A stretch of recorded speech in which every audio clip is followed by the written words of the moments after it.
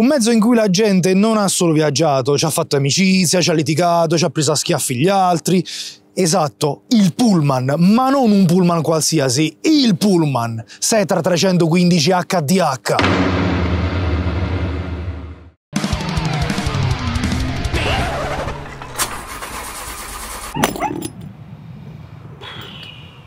Sviluppo industriale, gonnelloni, schiavismo, caporalato nel Foggiano? No, Germania poco prima del Novecento. Partiamo bene. Nel 1893 in Tedeschia un germanese si sveglia con la voglia di risolvere un problema fondamentale, lo spostamento della birra e altri generi alimentari. Quell'uomo è Karl Karsbohrer, che decide di aprire il suo stabilimento a Ulma e iniziare subito a tirar fuori furgoncini telonati di gran classe e da lì parte la sua attività. Ma a Carletto non basta. E che ti fa? La domenica me lo rigira in autobus visto che il retro ha le panche. Solo nel 1911 decide di tirar fuori un vero e proprio autobus di linea, ma senza sbattersi troppo. Prende un telaio Saurer e ci monta su tutto. 18 posti, uno personale per flexare e un altro per il trasporto pubblico di Ulm. Poi arriva la guerra e come tutte le cose belle, se non vengono distrutte e vengono requisite. Carletto tira le cuoia nel 22 lasciando tutto nelle mani dei figli Carl E 8. Mentre il primo si dedica ad autocarri e rimorchi, l'altro si casa con gli autobus di linea. Lungo come un campo da calcio, alto come un condominio, pesante come una balena e grande come un pullman. Raga, è bello soltanto come un altro Setra. Oh, lo dovrebbero usare come spot sta cosa qua. Il pullman segue una logica di costruzione ben precisa. Innanzitutto la lunghezza per accogliere tutti quanti i passeggeri. Ma perché i passeggeri sono in alto? Perché in basso c'è tutta la meccanica, il vano bagagli che oltre che essere alto prende praticamente metà del pullman, il motore e la trasmissione che partono dalla ruota posteriore fin dietro e ci sono le scalette, le due scalette di entrata che ti portano verso i posti. Questo è anche l'HDH che è più alto dell'HD, più alto di lui solo esclusivamente il pullman a due piani. Fermi tutti! Momento sponsor, se lo salti sei un baggaro. Lo sapevate che Car Vertical è un sito, una app che vi permette di trovare informazioni su un'auto e uno storico dettagliato inserendo soltanto il numero di targa e il codice VIN? Sì, Fabri, lo sappiamo, ce l'hai detto un milione di volte, vai avanti, vai. Ma non sapevate che Car Vertical si è rinnovato? Eh già, da oggi con il nuovo Car Vertical non serve più essere degli espertoni per comprare o vendere un'auto. Ci riuscirebbe benissimo anche quell'impedito di Gabriele. Anch'io? E come? Beh, grazie all'aiuto di questi due tizi, Varisto e Ernesto, che ti assomigliano, le due nuove mascotte di Car Vertical. Ma basta informazioni utilissime, cerchiamo di concludere, dai. Da oggi l'app è stata rinnovata per essere user friendly e il sistema di report è stato snellito. Fabri, ma che sa fa? Snellisco per rendere tutto il più utilizzabile. Ma adesso vi faccio vedere qualche esempio. Come on, dai, vieni con me, dai, come on, dai! Vuoi giocare a chi ce l'ha più grosso con i tuoi amici? Non c'è problema, BMW X5 fa per te. Targa, VIN, entriamo nella nuova schermata. Perfetto, rubato, ok, odometro, che sarebbe il contachilometri, i chilometri reali. Stato finanziario e giuridico, nessun problema, vuol dire se ha cariche pendenti. Danno, eccala. Arrivi direttamente al danno, la prima cosa che non va arriva subito. La vedi? È bella, è stata smussata, non ha più la mascella. Guarda che botta. Set completo di danni, niente X5, mi dispiace. Ma Car Vertical non è utile soltanto a comprare auto, ma a controllare anche il vostro veicolo per vedere che manutenzione fare oppure per venderla meglio o a più prezzo. Vuoi comprare un'auto ma sta Beringowski?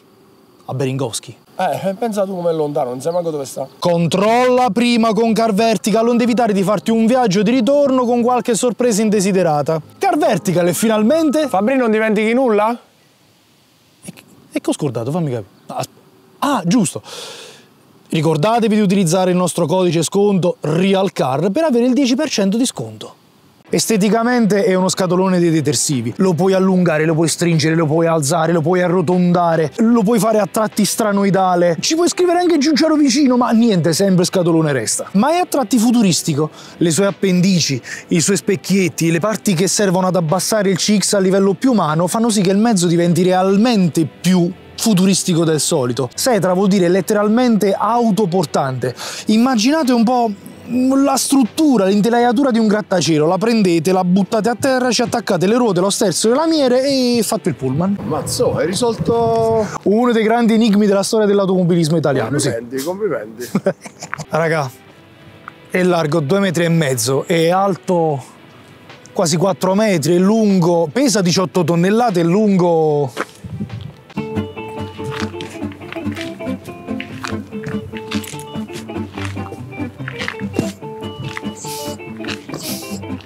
9 passi miei. E questo è il portabagagli, ragazzi. Io c'entro dentro, ma rendetevi conto che i messicani ci mettevano i parenti, i corrieri della droga ci imboscavano la droga. Il servizio celere dei pezzi di ricambio dei ricambisti. Ci potete mettere un motore sano qua dentro senza problemi. Adesso vi facciamo vedere che cosa vuol dire veramente casborer, ossia autoportante. Queste sono le viscere del vere e proprie della scocca di un pullman. Voi conoscete soltanto questi due pannelli. Cioè, gli autisti scendono, vi aprono questi due portelli, infilate e vi ne andate. Però qui iniziate a notare quella che è la struttura, tutte le nervature, questa parte che è la scocca portante del pullman, guardate qui, bracci di rinforzo, la struttura mediana, è talmente tanto ferro che non suona neanche, cioè Visto? Da quest'altra parte invece iniziate a trovare tutti quanti i vani nascosti. Questo che ormai è un accessorio che quasi non esiste più, ossia lo sportello. Un altro piccolo vano. Giustamente gli autisti ci tengono estintori, ferri, il martello pressione gomme. Dove Qui andiamo? Dove andiamo? si va sempre verso dietro. Altra struttura che ti fa capire come sta fatto. E come sta fatto? Sta fatto bene, è massiccio proprio. Altro vanno bagagli, accessori, accessori sempre dell'autista. Tutto motore, tutto motore che vedremo dopo. Altro vano secondario, questi sono i soffietti del pullman, quelli che si gonfiano per le sospensioni, non è una, una barzelletta, ma ve li facciamo vedere dopo con le sospensioni. Altro vano parallelo a quell'altro, lance di idropompa, mocio, perché pulire questa cosa è esattamente come pulire un condominio, quindi ci trovate la ditta di pulizie qua dentro, la cuccetta, chiusa dall'interno, cuccetta proprio come quella dei camion dove l'autista scende e va a dormire, la porta secondaria, la parte più bella, quella che trovate sempre chiusa da parte degli autisti ma non tutti quanti, il cesso chimico, quindi pompa, tiraggio, il blu, tutte queste cose qua, tutte queste cacate veramente, scendi, vai, vedi, mish mish, l'altra parte del bagagliaio e poi si arriva giustamente all'altro piccolo vano. Adesso capite il perché voi state in alto e il resto sta in basso. Perché non vi iscrivete al canale, siete sempre i soliti 60% che vedete, scorrete, vi fate consigliare e poi andate via. Siamo negli anni 30 e diciamo che dal 33 al 45 succedono un po' di cosine pazzerelle in Germania, ma Otto si dedica a tempo pieno nel riempire il pullman di chiccherie che mai verrebbero in mente a nessuno. Prende un telaio da 2 tonnellate e ci pianta un 18 posti da panico da 18,7 metri, con tetto apribile, vetri a scorrimento, vetri a manovella, vetri bombati, insomma non è un pullman, è un expo di una vetreria. Poltrone reclinabili, toilette, cucina, nonché dell'originale sistema di riscaldamento Aurora che utilizzava come fonte di calore un liquido apposito, probabilmente cancerogeno fino al midollo, ma non era ancora l'era della consapevolezza su questi argomenti, quindi vai col tango e l'asbestosi. I suoi mezzi ormai erano al pari di un Titanic, ma che se bucano non affondano. A metà degli anni 30 il nostro megalomane decide di fare le cose ancora più in grande. Ti spara fuori un auto articolato da quasi 19 metri, trainato da un camion trattore Mercedes LZ 8000, 120 posti a sedere e 50 in piedi perché il controllore ce lo deve sucare. Vi ricordate le cose pazzerelle di prima? Beh, finirono col distruggere dai bombardamenti gli impianti gas borer. Ma arrivano gli anni 50 e boom economico a manetta, go go, pin up, macchinoni per l'America e macerie per l'Europa. Otto non molla un cazzo, manco un millimetro e riparte da dove ha lasciato. Un mezzaccio di proporzioni bibliche, ma che non ha nulla a che vedere con i mezzi sfarzosi dell'anteguerra. Arte povera, più scarni. Salone dell'automobile del 51 e arriva il Setra S8, minaccia teotonica da 50 quintali come solo mamma tedeschia sa fare, 37 quintali di carico utile mosso da un prepotente 5.4 litri, 95 cavalli, 6 cilindri Henschel che faceva solo 100 km con 20 litri di nafta e i GTD a letto senza cena. V8 biturbo 380 cavalli, Mercedes, un motore della Madonna che non finisce mai. Da questa parte troviamo invece l'aria condizionata, il mitico sistema Variomatic che non c'è più, non lo vedremo mai, lo hanno eliminato tutti quanti, il mega radiatore dell'acqua, vaschetta dei liquidi, il doppio alternatore, Da quest'altra parte invece, quasi nascosto ma non troppo, il webasto per il riscaldamento. E dopodiché c'è tanta altra roba che sembra essere compressa. Il cambio è uno ZF a 8 rapporti, 4 veloci e 4 lenti. Non vediamo attaccata, attaccati motore e trasmissione, dopodiché c'è l'albero di trasmissione che va differenziali. Qua il cambio è un po' come quello mh, della 126, qualcosa del genere. È tutto quando un blocco e dopodiché esce direttamente. Questo veicolo nasce Euro 2, però è stato aggiornato ad Euro 5. Lì c'è una marmitta del costo di circa 10.000 euro. La fregatura sapete qual è? Che viene riconosciuto come Euro 5, ma quando vuoi andare ad esempio nel centro di Roma, te lo riconoscono sempre come Euro 2. Perché? Perché ti devono rompere le palle. Da quest'altra parte invece troviamo i filtri del gasolio. Questo è il webasto un sistema che è indipendente che pesca il gasolio direttamente dal, dal, eh, serbatoio e serve a riscaldare anche quando il pullman è spento. Tutto quanto messo in opera, bello, coibendato. I tubi di scarico e la marmitta catalitica che sta qui sotto è un po' più nascosta. Da quell'altra parte in fondo vediamo le turbine enormi. Quelle due sono le turbine una qui, una per bancata. Da quella parte invece vedete tutto quanto il gruppo degli iniettori perché questo motore è dotato di pompa rotativa meccanica, questo è un motore che è dotato di quattro valvole per cilindro, la distribuzione ovviamente come tutti quanti i motori dei camion è a cascata di ingranaggi quindi non devi rifare assolutamente niente. L'unica cinghia che vedete non è la distribuzione, sono, è la cinghia dei servizi. La cosa che invece potete notare è che come da tradizione Audi, auto a motore posteriore, il motore è posteriore a sbalzo. Perché a sbalzo? Ragazzi è semplicissimo bisogna recuperare tutto lo spazio possibile per metterci i passeggeri e un pullman serve a portare i passeggeri. Altro vano accessori dove sono contenuti anche i vari soffietti, cassette, bulloni e tutto il resto. Infrattato da quest'altra parte invece c'è la modifica con la centralina e il serbatoio per la D-Blu perché questo come abbiamo detto prima è stato aggiornato a Euro 5. Te quando cazzo da aggiornare all'Euro 5 scusa? Da quest'altra parte radiatore dell'acqua, intercooler, sistema di stacco generale, filtro dell'aria è enorme ma giustamente per motore grande ci vuole un pennello grande, doppia batteria, 1150 A 12 volt ce ne sono due, mica uno scherzetto eh. Da quest'altra parte ancora tutto quanto il blocco dell'aria condizionata, quindi essiccatore, condensatore e tutto il resto. Adesso vi rendete conto di quanto, di quanto è grosso... Thermo King! Vi rendete conto di quanto è grosso un sistema di condizionamento di un camion? Le gomme possono essere 6 o 10, tutte quante della stessa misura, 295 e 80 su un cerchio da 22,5. Cerchi lega ovviamente, 1000-1000 bulloni per reggere sempre le gomme e sono tutte della stessa misura. Di base dietro abbiamo 4 gomme, si chiama asse gemellare per questo motivo, per questione di peso ci sono due gomme per lato. In alcuni paesi, in alcune situazioni per il peso potete trovare anche il doppio asse gemellare, ossia un set di gomme che sta più avanti, un altro asse che sta un po' più avanti. Toglie un po' di spazio, ma è utile. Quindi potete avere di base 6 ruote in totale oppure 10 in totale col doppio asse gemellare, tutte quante gomme che stanno 5, 6, 700 euro l'una. All'anteriore abbiamo freni a disco avanti, tamburo dietro ad azione invertita pneumatica, ossia quel classico che se l'impianto perde le ganasce e i dischi rimangono attaccati, quindi resta frenato. Le sospensioni invece sono qualcosa di un po' diverso rispetto ai camion.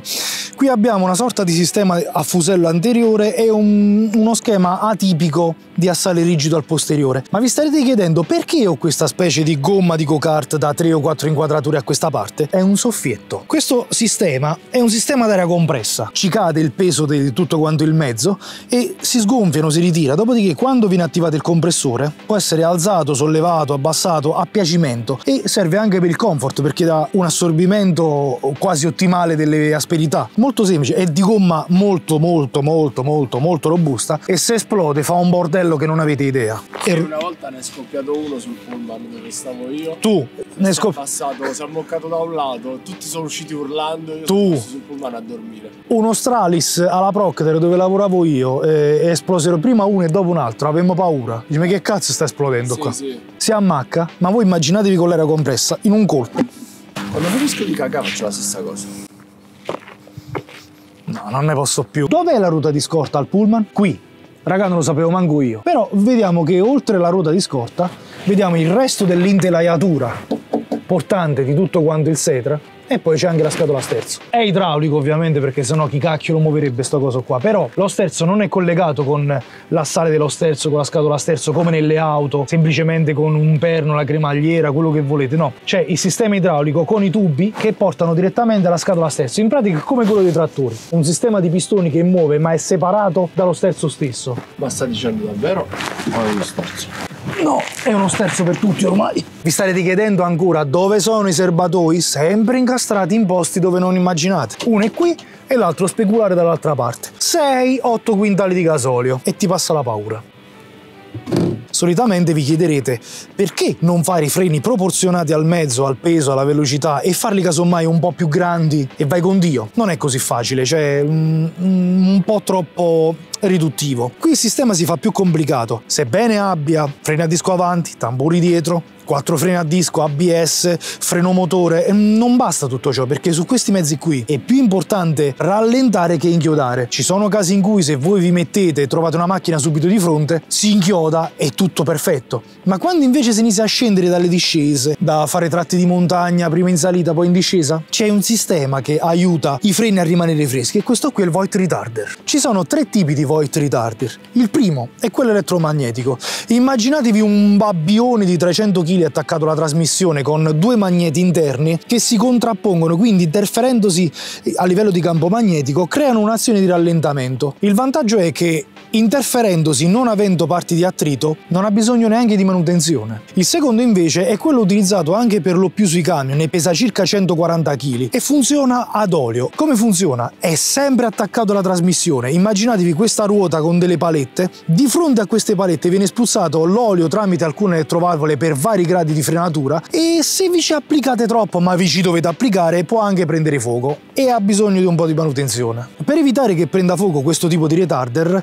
viene unito a un sistema di raffreddamento a liquido. Il terzo invece è proprio di Voigt ed è il sistema che utilizza un liquido a temperatura controllata, cioè il liquido di raffreddamento del motore. Funziona esattamente come quello di prima, non ha quasi per nulla manutenzione e soprattutto pesa 40 kg che in questi casi aiuta. Dopo anni di produzione artigianale grazie a Ford, arriva la catena di montaggio, produzione industriale vuol dire espansione esponenziale. Si arriva alla fondazione della vera e propria azienda Setra, il cui termine deriva dalla parola tedesca Selbestraten, che significa autoportante. Nel 59 sbuca fuori il primo auto snudato della storia, Setra SG 165. Ormai bus di tutti i tipi, urbani, extraurbani, extraterrestri, lasciano gli stabilimenti a flotte. Negli anni 70 cambiano le forme, migliorano il comfort e quando il mondo crede di aver concepito il top per un bus, arriva il Setra S150, rialzato, panoramico, la meccanica raffinata fa paura. Carletto Junior passa a miglior vita ed i due figli relevano tutto, ma la megalomania si tramanda e i due figli aprono la strada su un altro fronte, presentando il primo bus rialzatissimo, più alto che lungo, il Setra S200. E perché? Perché più lungo non si poteva fare, ma più alto sì. E che fai? Del bus a due piani non te ne privi? E no che non te ne privi! Eccovi l'S228 DT che dall'82 al 93 vende più di 1100 unità. Nel 95 la Setra viene assorbita da Mercedes cambiando nomignolo. Da oggi il gruppo Evobus GmbH vede la luce la serie 300 e il 328 a due piani è qui. E vai! Dal 2001 al 2014 sbarca la serie 400, le Rolls dei Pullman la chiamano. Motore, cambio, assetto, silenzio, comfort, signori qui si sale di livello. La megalomania adesso si vede nelle piccole cose che migliorano il tutto. Ed infine siamo ai giorni nostri con la serie 500, un'ulteriore evoluzione della serie 400, ma sempre megalomane. Giorno, dove ferma questo? Affanculo, vuoi venire? Eh, chiaro. Gli interni, raga, gli interni di un pullman li dobbiamo fare per forza a pezzi perché, cioè, voglio dire, qua non si vede la fine. Partiamo dall'entrata con la parte del guidatore. Fatti quattro scalini, ci si mette subito al posto di guida. Ovviamente l'autista, non tutti, eh. Come per lo spot della banca e dell'azienda di telefonia, è tutto intorno a te. Selleria Recaro, quindi la Delta Evoluzione motissima, e tutta la strumentazione che serve per controllare questa specie di condominio su ruote, perché è veramente un condominio visto il casino, eh. Il più bello, il fungo rosso che serve per il, eh, la l'arresto di emergenza di tutti quanti i sistemi. Il volante con la colonna enorme, non chiedete di metterla dritta perché sta cosa praticamente non si sposta facilmente. Il quadro strumenti, c'è il tachigrafo, il contagiri, il contachilometri, il milione e trecentomila chilometri fatti da questa macchina, le varie spie di freno a mano, pressione freni, pressione delle ganasce, pressione dell'olio, temperatura dell'acqua, carburante e poi addirittura del freno a mano. La radio, il sistema di diffusione interna, il webasto e l'aria condizionata di conseguenza. Il freno a mano, altri pulsanti in puro stile forno della Rex di nonna Pina, il navigatore satellitare che ormai è diventato un accessorio che fa parte da un po' di tempo a questa parte di tutti quanti gli autisti e dopodiché la pedaliera, acceleratore, freno. Uh, drip check. Eh, certo, Decathlon acceleratore, freno, freno motore, frizione, la leva del cambio ad otto rapporti, chiavi sparse che ti fa capire tutto, una presa giustamente per l'aria compressa anche per pulire, una che questo qui, questi mezzi sono dotati di compressore, questa che giustamente speri di non aprirla mai, il devio luci enorme, clacson che sta qui, luci, frecce, la puriveloce dei vetri, come si comanda il Voigt, il retarder? Con questa 1, 2, 3, 4, 5 scatti. Da 1 alla quinta posizione regola il ritardo, ossia la frenatura che volete dare al retarder. E da quest'altra invece c'è il eh, cruise control. Imposti la velocità e te la tieni come ti serve. La leva del cambio è esattamente come le macchine di Fast and Furious. Lì cambiano marce a profusione, non si capisce quante ce ne siano. Qui invece lo fate nella realtà. Dalla prima all'ottava, tutte di fila. Basta ragazzi, finitela di rompere le palle voi con sta canzoncina. Se facciamo incidente muore il conducente che morite pure voi. La finite di fare casino? Eh? E iscrivetevi al canale perché sennò vi lascia Zagabria, muovetevi. Ragazzi, la finite là sotto! Quante volte ve l'ha detto la professoressa, dai? Il sistema di microfono che serviva ad informare tutti quanti. Per noi, ragazzi delle scuole, era uno strumento di tortura senti la voce della professoressa in una giornata che era di festa. Però serviva anche per molte altre cose, eh. non so cosa, ma per molte altre cose. Per raccontare le barzellette, per dire le cagate. Per fare l'imitazione degli animali. Per Perché l'imitazione degli animali? Ma come no? Ma Che no. cazzo? Ma che Ma cazzo di gite facevi? Io non lo facevo. Ma che pa- per persone piace? che In continuazione belavano, facevano. Ma scusa, non l'hanno mai No. fatto? Cari razziatori miei, qui scatta il problema principale. Il Pullman, come il Turbostar, è un mezzo d'opera che però addirittura rispetto al Turbostar segue una via leggermente diversa. Molti hanno restaurato i Turbostar, hanno restaurato i camion in generale, ma nessuno si è azzardato mai a restaurare un Pullman. Tranne quelli che sono esposti nei musei, tranne qualcosa, nei raduni, anche di mezzi pesanti, Pullman, se ne vedono pochi quanto niente. Entra in gioco anche un'altra situazione qui, che è la cosa peggiore. Molti di questi, essendo Euro 2, Euro 5, pre-Euro, qualcosa del genere, devono essere per forza rottamati. Perché? Non ti fanno entrare nei centri città, non ti fanno entrare addirittura nelle città e in alcuni casi c'è anche il divieto in autostrada se non si è Euro 6, il che porta i proprietari a far sparire questi mezzi il più presto possibile. Abbiamo chiesto a molte persone, meccanici, restauratori, se si sono mai imbattuti nel restauro di un Setra. Nessuno. In pratica questi mezzi finiranno là dove nessuno è mai giunto prima, cioè il Nord Africa, e soprattutto in posti dove la Greta è soltanto un'erba da fumare. Difetti. Raga, qualcuno c'era. Era una macchina indistruttibile, ma qualcuno c'era. HDH a due assi, avendo un asse in meno in autostrada, pagava meno. Però in curva era meno reattivo e soprattutto ondeggiava. L'HDH sempre a due assi, per farlo rientrare e nel peso e soprattutto per farlo 55 posti, gli misero dei cerchi in lega molto leggeri. Questo bestione come sistema di climatizzazione aveva un sistema chiamato Variomatic, raga non ve ne andate sbattimento. In pratica era una puleggia che con un sistema centrifugo si allargava o si stringeva, in modo tale che voi in città a bassi giri a minimo avevate sempre il compressore dell'aria condizionata che andava ad alti giri e quindi sempre freschi dentro. Non funzionava quasi mai tutti modificati, compreso questo. Signori, basta difetti. A detta degli esperti, questa era una macchina che rasentava la perfezione. La sua unica pena? Non essere più in normativa euro. Ragazzi, il Setra era una macchina perfetta, ti portava ovunque in sicurezza, faceva di tutto, ti faceva dormire, aria condizionata, tutto e ti faceva anche il caffè. No, letteralmente, faceva proprio il caffè. Professore, Oh, posso dire una curiosità? vai. Pochi lo sanno, ma Gasborer faceva i gatti delle nevi e la cosa bella è che li fa ancora. Professore Gabriele, da fastidio! Aveva l'acceleratore drive by wire, senza filo, è ovvio, perché sto coso, parliamoci chiaro, che fa? Gli fai 12 km di laccetti o di cavi o di leveraggi, dai. Ragazzi, quando dicono che gli italiani sono la ricchezza degli altri, è vero. Otto Gasborer si è ispirato ad un'auto italiana, la Lancia Lambda, per creare il sistema di costruzione generale dei suoi mezzi. Oh, Gabriele, Oh, qua c'è un problema. c'è? Cioè, io non posso guidare il turbo stare, figuriamoci sto cazzo di coso qua. Mannaggia me. Non lo so, chi cazzo lo guida sto coso qua?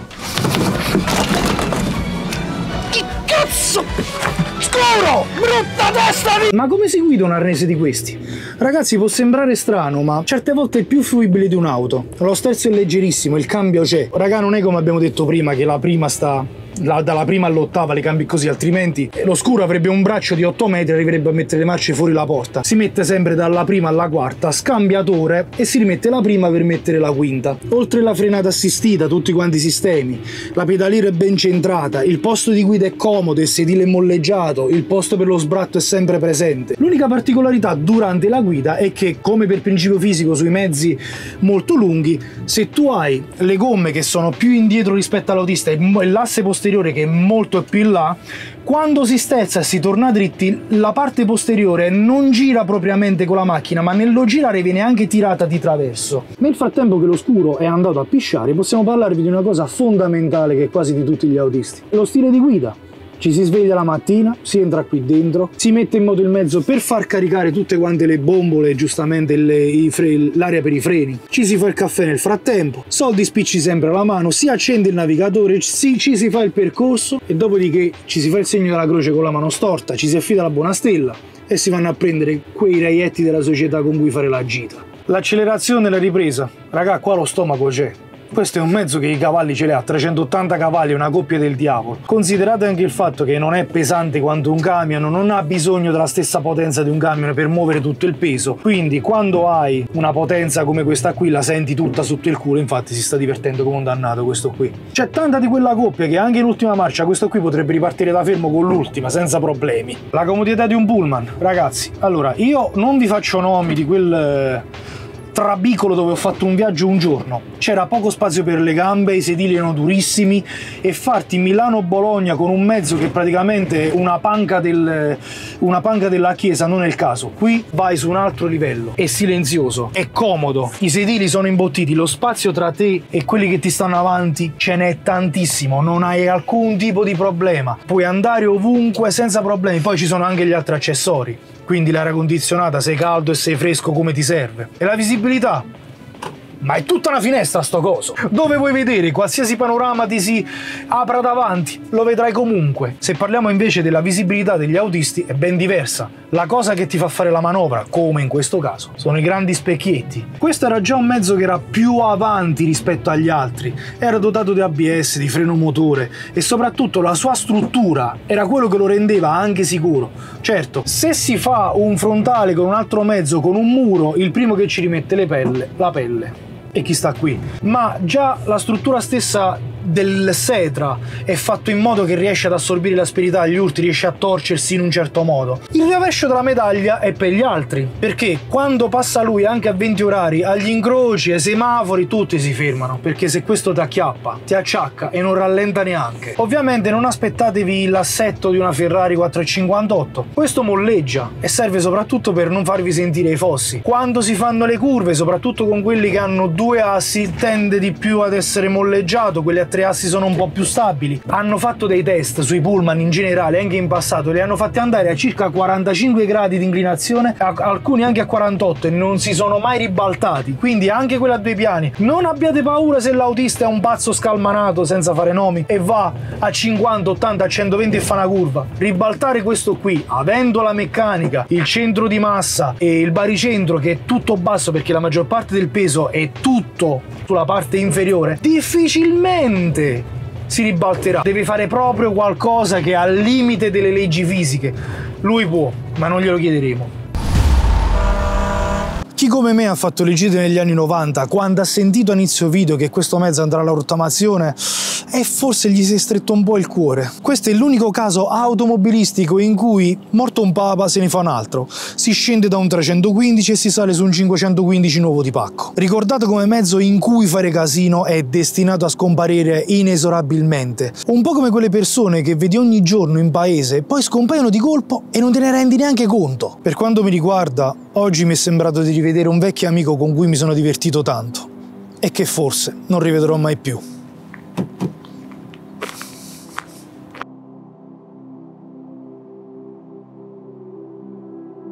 Grazie per aver guardato il video e se sei arrivato fino a questo punto, beh vuol dire che il nostro progetto ti piace. Se vuoi sostenerci è facile.